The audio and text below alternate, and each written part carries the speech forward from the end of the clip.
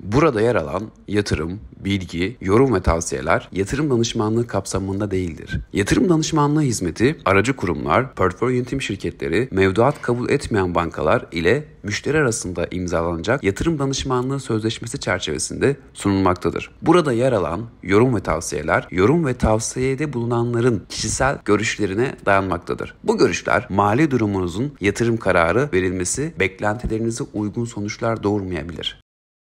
Evet, geldik günün ikinci videosuna Bitcoin analizi. Arkadaşlar, ara ara Bitcoin analizi yapıyorum. Hep aynı seviyede sıkıştığı zaman yapmak istemiyorum. Çünkü aynı şeyleri söyleyeceğim. Gun tayfı değişmemiş olacak. Şu anda seviyeler değişti. Ekranda gördüğünüz videoyu ortalama 3 hafta, 4 hafta önce yapmıştım. 34 binlerin üstünde bir çıkıştaydı. Ve kendimden o kadar eminmişim ki tam bir YouTuber başlığı olmuş. Hedef 54 bin. Şimdi baktığımızda 41.600'lerin üzerinde kalmış. Yani ortalama 6.000 dolar çıkmış. Demek ki o kadar kendimden emin bir şekilde başlık koymakta haklıymışım. Gelin bundan sonrasına bir bakalım.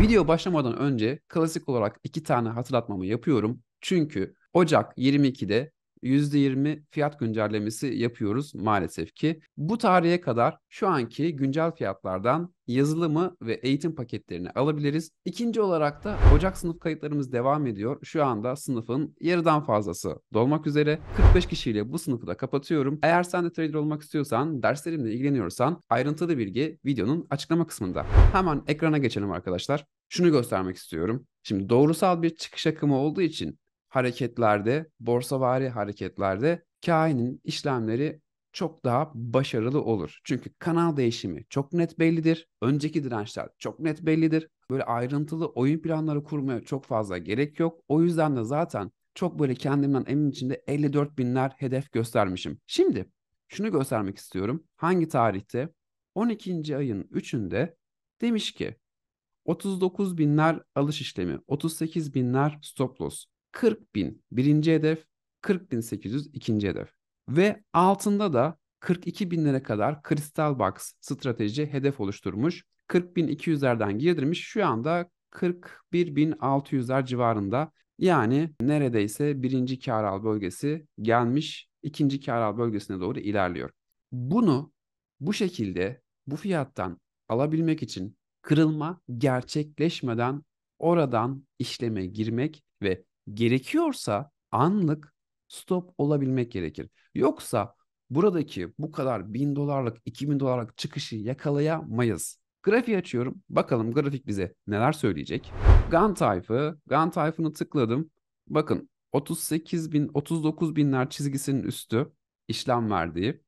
39 binlerin üstünde kalmış. Oradan sonra demiş ki evet burası alış için güzel bir bölge. Alış çizgisini, alış bölgesini oluşturduktan sonra oranlayarak stop loss bölgesini oluşturmuş ve çıkış akımı yakalanmış. Sadece 2 gün içerisinde çıkışı görüyorsunuz. Şimdi buradaki çıkışı yakalayabilmek için trader olmak gerekir. Ya da alırsın, unutursun aynı borsa hisse gibi. Tamam çıkacak dersin. 33 binler, 30 binler güzel bölgeydi dersin. Hiç takip etmezsin. O da bir yöntem.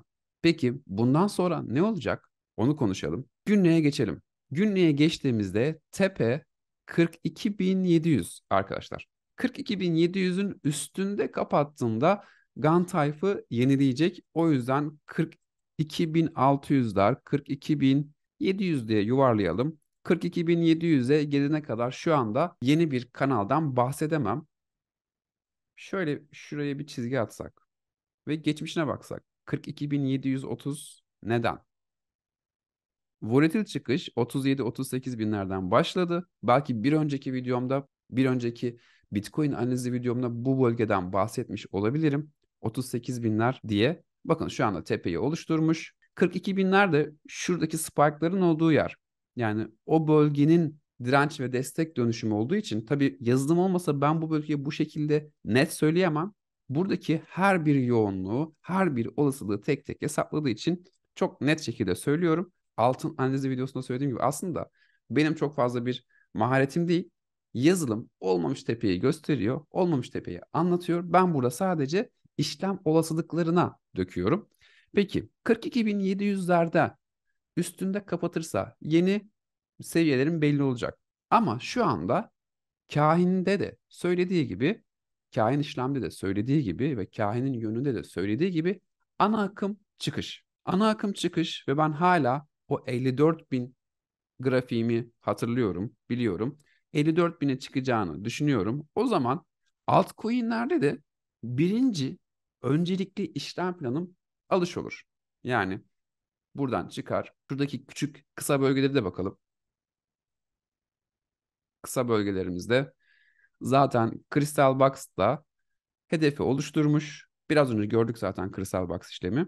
Birinci kar al, ikinci kar al zaten bu bölgelerde tepe. Bundan sonrasına bakacağız. Eğer 42.700'ün üstünde kapatırsa Hayyam 144, 52, 36 her şey yeni bir hesaplamayla yeni bir düzen içerisinde üst banda doğru taşımaya çalışır.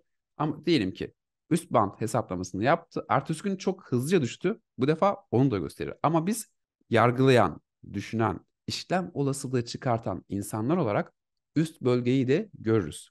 O A planımda hazır olur. Ya da satış işlem açabileceğim için alt bölgeler de bir yandan hazır olur. Derim ki 42.700 direncini geçemedi. O zaman artık birinci öncelikli işlem planım satış. Yani aslında şu an bir fiyat geçiş bölgesinde. Bu bölge çerçevesinde konuşursak şu an stop loss'um 38 bin olur. Yani 38 binin 39 binin aşağısında kapatmadığı müddetçe yukarılar baki devam ediyor. Ama yukarıda da çarpabileceği direnç 42.700'ü unutmamak kaydıyla. Şimdi Bitcoin'i konuştuk. Ayrıntılı olarak konuştum. Aşağı bölgeyi, yukarı bölgeyi konuştum. Şimdi de altcoin'lerde birinci amacım çıkış işlemiyle birlikte bir dört tane majöre bakalım hızlıca.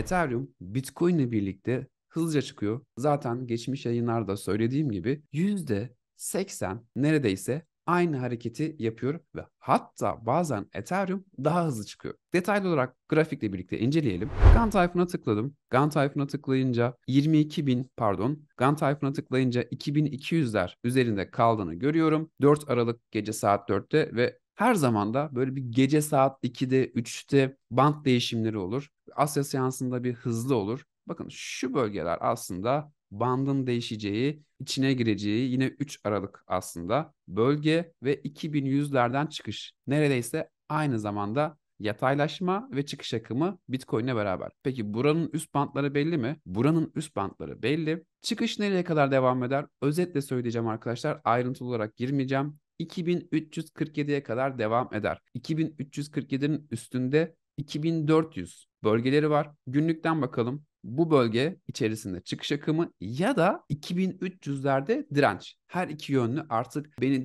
dinleye alışmışsınızdır. Bu bölgeyi her iki yönlü kullanmaya başlayabiliriz. 2353 bölgesi. Peki bir sonraki üst band bu bölge işlemsiz bölge. Tabii çok profesyonel trade edebiliyorsak bu bölge işlemi de çevirebilir ama genel olarak çok basit olarak anlatıyorum. Anlatıyorum.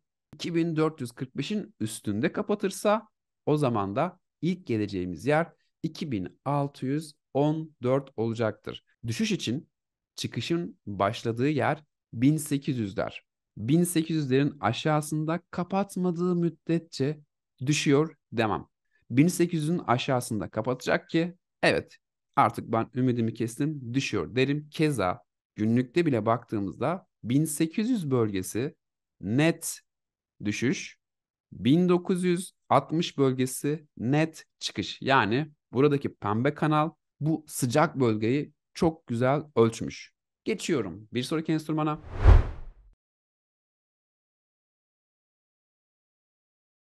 XRP. Arkadaşlar XRP'de neredeyse Bitcoin'le aynı diyemem ama %70 hani %80 doğrulukta değil %70 ama yine de burada da bir çıkış akım var. Hemen Grafiğe bakalım. Gantt tayfına tıklıyorum. Güncel Gantt tayfı grafiğini görmek önemli. Bakın bandın genişliği burada çok daha fazla ve tek bir band. Çünkü burada sıkışmış. Peki bu bandın üstüne geldiğinde çıkmaya çalışmış. Nispeten çıkmış 0 635'lere kadar tekrardan destek tepkisiyle 635'lere kadar nereye kadar çıkabilir deriz? 0 6700'ler. 0 6700'lere kadar çıkar. Hep sıkıştığı bölge burası çünkü. Bakın Turkuaz kanala. Günlüğe gelelim.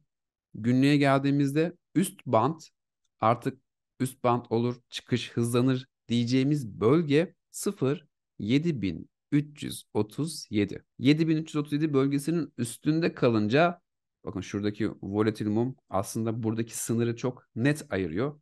Öncesi düşüş, bununla birlikte üstü tepe diye. Bu bölgenin üstünde kalırsa sırasıyla bölgeleri söylüyorum. 7995 neredeyse 8000, 8900 bölgesi yukarılar. Yine buralar geldikten sonra devamını konuşuruz. Ama önemli bölgem burası arkadaşlar. Burada da 0 5800 bölgesi önemli. 5800 bölgesinin aşağısında kapatırsa o zaman da derim ki üst bantlar bitti. Alt band satışları konuşabiliriz. Bakın neredeyse hepsi aynı. XRP de aynı. Ethereum da aynı. Belli dönüm noktası var. Pembe band. XRP'de de aynı. Ethereum'da da aynıydı. Geçelim bir sonraki enstrümana.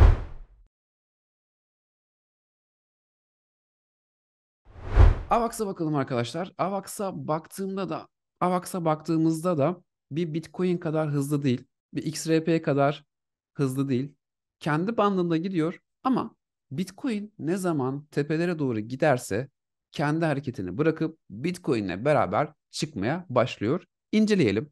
Gantt tayfını tıkladım. Gantt tayfını tıkladığımda günlük günlük tepesinde. Şimdi yeni hesaplamanın vakti gelmiş. Eğer buranın üstünde bir günlük haftalık kapanış olursa AVAX için yukarıya çıkışın hızlanacağı yere gelmişiz. 22.58. Aslında burada önceki işlemlerimden hatırlıyorum. Şunu söyleyeyim.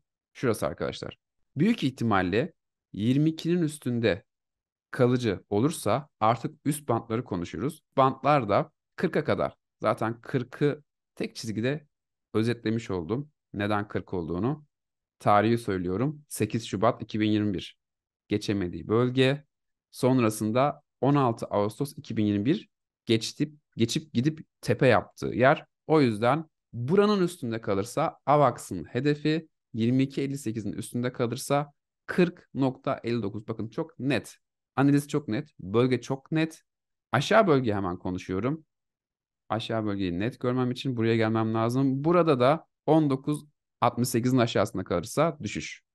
Haftalık Bitcoin ve onunla ilgili major altcoin'lerle ilgili analizim de bu kadar arkadaşlar. Bitcoin analizini, altcoin analizini çok fazla yapmıyorum. Birinci sebebi aynı yerlerde tıkalı kalınca kendimi tekrar ederim. Hoş olmaz, sevmem. İkincisi beğeni az, yorum az. Hiçbir şekilde etkileşim yok. Forex'te çok daha fazla etkileşim var. O yüzden oraya çok daha fazla yoğunlaşıyorum. Eğer videoyu beğenirseniz, takip ederseniz yeni gelen kitle sonrasında yorumları yaparsak Bitcoin ve onunla birlikte altcoin analizlerini arttıracağım. O zaman bir sonraki videoda tekrardan görüşmek üzere.